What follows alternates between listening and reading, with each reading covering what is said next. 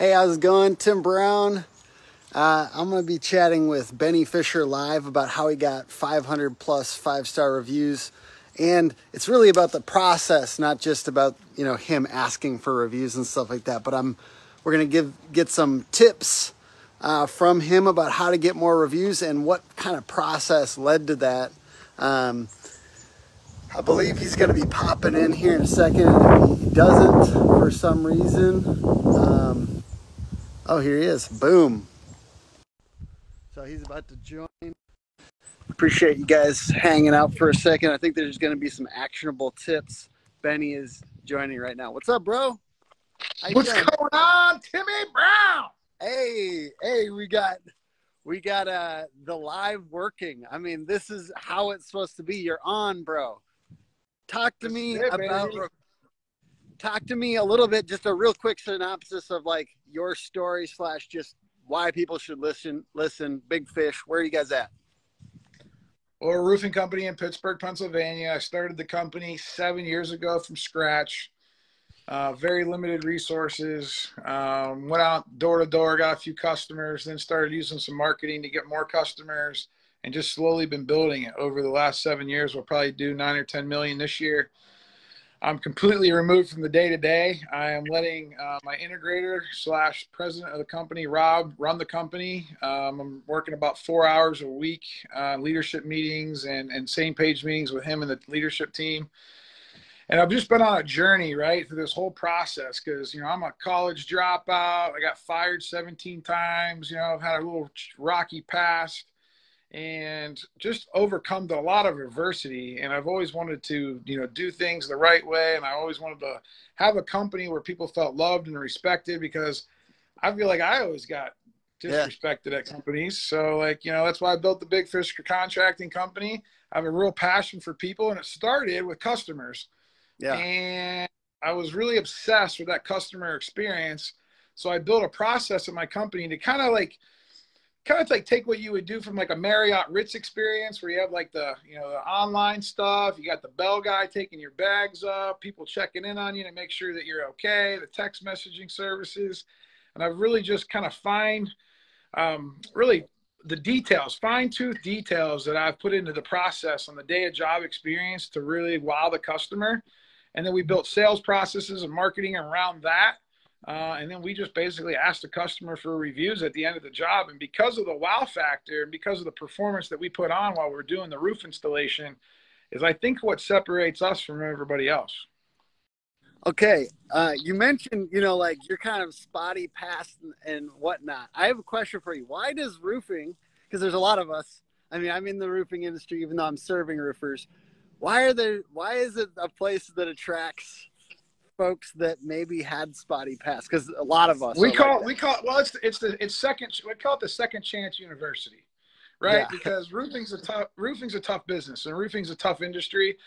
Um, you know nobody wakes up in the morning uh, wanting to be a roofer i don't think you know what i mean? Unless your dad was a roofer and it's in your blood but yeah. you know most people don't grow up and say you know i want to be a roofing i want to be in the roofing business right? The roofing mm-hmm. kind of finds us but what i found it's a great vehicle to really make a difference and have an impact on people's lives. And no matter if you're taking care of the customer or taking care of the employee or taking care of the vendors or now even inspiring an industry to like really make uh, really positive changes. There's just a lot of uh, a lot of upside. You know, I mean, the, the, roofing industry is still I feel like an underserved uh, industry compared to other industries. I still feel like we're a little bit behind the times. Yeah.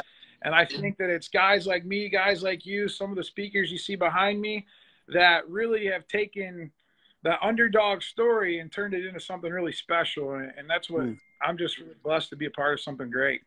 So I know that you're going to give the full spiel at uh, we're we're in Omaha this next Wednesday and Thursday with a bunch of great people, including Dustin Beegler, the CEO of Apple Roofing, which is a very large company roll up that's happening in the roofing industry. But um, can you give what what should a roofer do who's watching this? One thing that you think could get them more reviews in the next, uh, you know, 90 days. Something that you would strongly suggest that they do. The most likely thing you think that would get them more reviews. Multiple customer touch points not only during the day of their install to let them know what's been happening and being fully transparent, but also before the install and then after the install, making sure that you take care of them as a customer. But most yeah. importantly, on the day of the job, the performance, because it's easy to sell a job, right? It's easy to go get somebody's money and get the job, you know, whether they, you know, whether you were the cheapest price or whether you were the best salesman.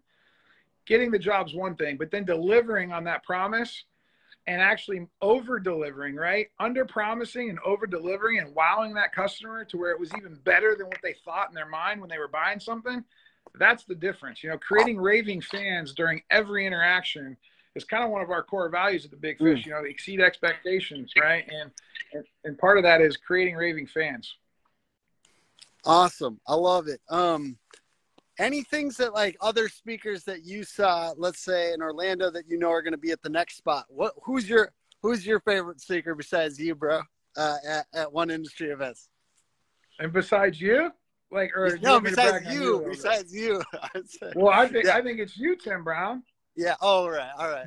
You no, but seriously, you have the passion and the energy. I think me and you both deliver that high energy and high passion because we're like super excited visionaries and we we we got into this business to really help people, uh, whether it's the customer or the employee, right? And regardless whatever we talk about, our passion comes out, and I think people are really attracted to that passion, and people really want to have that passion. I think it's important for people to have a burning desire because what happens is is life gets hard, business gets hard, and you have to have something to like get you through those hard times. And, and, and if you're mm. in it just business just for the money and for the paycheck, I mean, money comes and goes, right? But like that burning desire to help people, you know, always stays for me, and that's how I get through the the, the, the, the rough times. Oh man, I used to. So I would do. I used to do a live every single Monday morning for like years, and I always my sign off was always do a little bit more of what you love this week in your business because it's just yeah you said passion and it's just like figuring out ways to like it because there's always tough spots right? Like and uh, yeah just figuring out what do you like about your work? And um, and doing more of that. Yeah give give us the, give us the um I, I put you up on the big screen I put you up on the big screen in my home office. Are you able to flip your flip your screen so it's not mirrored? Because right now it's mirrored. Probably um, not. Okay. Well, anyways, guys, Benny is freaking awesome, and he's he's giving back to the roofing industry. And why? You know, like really. I mean, I'm this. I'm doing a rhetorical question here because why? Because technically, people don't have to, and Benny has made a business, and it will feed him and his family long into the future. But why is he giving back? Ask yourself that question, and why why is it fun to give back? And why why help businesses that are earlier than yours? I don't know. I'm, i want to leave do you, want to answer, do you want me to answer that you or just like I'll let you, i wanted to let it simmer for a second just to let people think about that because i see i see roofers all the time doing this. Like i see a number of roofers out there on facebook right now just giving and giving and giving and they don't have to. I know it's useful for them to give because when you teach, you learn something even deeper. But yes, okay, now that I've let it simmer there for a second, how about you, Benny? Why do you give back? You don't have to do this. You got your business, you know, you're solid. Why give back? Partly, partly is because like no one gave back to me during those early years of trying to figure out business, whether it was when I was working in a car dealership, whether it was when I was working at Verizon Wireless, whenever I was in the mortgage business. I never had a leader or a boss actually try to get more out of me and try to inspire me to do more. And I thought, like, wow, it's like really selfish of them. Like, why are they not teaching more? Why aren't they giving more? And for me, like, I think it was just because, like, I've been, like, I feel like mistreated, like, the first 20 years of my life to the point to where, like, I want to make it my passion to be able to give back because, and especially in this industry, because this industry is the one that gave me the breakthroughs, taught me the skills to how to be a better leader, a better partner in life, a better mm. friend, mm. a better dad. Like through some of the relationships in the roofing industry, like it's really, really transformed my life. And like I've been giving back before people even knew who I was, like even locally. Like I would help other roofing contractors in Pittsburgh I would um I'd even help the supplier. I remember one time when one of my uh the suppliers like he needed a favor and I helped him out, right? Like because mm-hmm. I had something at my shop that one of his other customers needed and I was like, "Yeah, man, tell him to come on by and grab it." Right? It was like a Saturday mm-hmm. afternoon. They needed a bundle of shingles. He knew I had it. I said, "Yeah, tell the other guy to come over and get it." It's like those things because at the end of the day, you know, I know I always be able to take care of myself and my family. But just in case I can't, too, like I want to be able to give, give, give, give, mm. just in case something ever would mm. happen to me. Like let's just say something happens to me.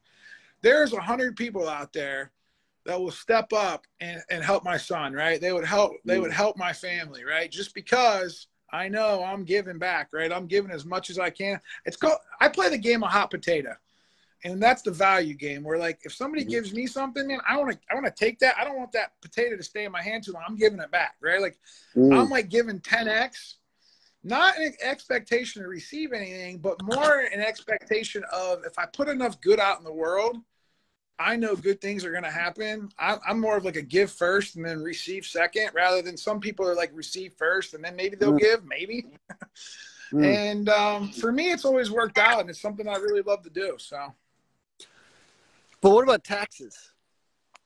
No, oh, geez, look at you. I, I look at you. You're trying. To, you're trying to create. You're trying to create polarity. Uh, yeah. no, I'm just kidding. Hey, I, I had a. Hey, what's what's up with you Minnesota guys? Always trying to create divide. hey, I just learned from people, you know. No, I uh, I put a meme out about taxes. You guys should check out. But anyways, and and Benny is was giving a very great point about how uh, about how he's grateful to live in this country, and I appreciate his perspective.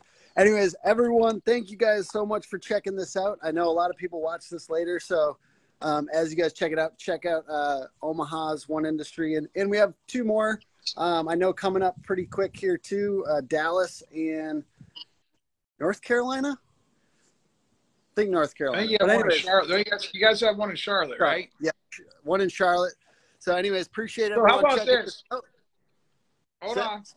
Yes, sir. Can you give me the? Can you give me? You you a football guy? You remember watching Peyton Manning? Uh, I don't know enough about Peyton Manning to add value to that, but so yeah, when he so when so when he would call audibles at the line of scrimmage, his yes, audible sir. was always Omaha, Omaha. Nice.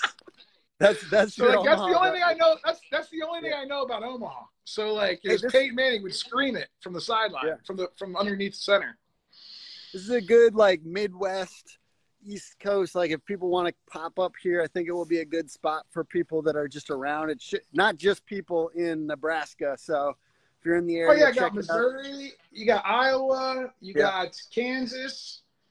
I mean, Nebraska, Kansas, Iowa, Missouri for sure, and even Minnesota is not that far, right? Yeah, no, absolutely. So I hope uh, I hope people check it out. And and Benny, I just appreciate you taking time out of your Saturday, brother, to say what's up. And um, uh, hey, this works. This live thing works, so I can do this more. And I'm gonna, I'm gonna probably do this with a few other speakers that are that are gonna be in Omaha. So uh, we brother, got a whole two you. viewers, man. Hey, dude. To me, it's always about later on with these lives because I usually get like 100, 200 people that watch it after the fact. So I got an idea. So here's the deal: yes, you're sir. still watching this put in the comments big fish rocks and I'll send you my process for how I get all the reviews. Ooh, I like that, brother. Thank you. Thank you so much for well, value, brother. Baby. And you have you have a great Saturday, all right? And everyone, thank you for watching. Right, you guys. All right, bye.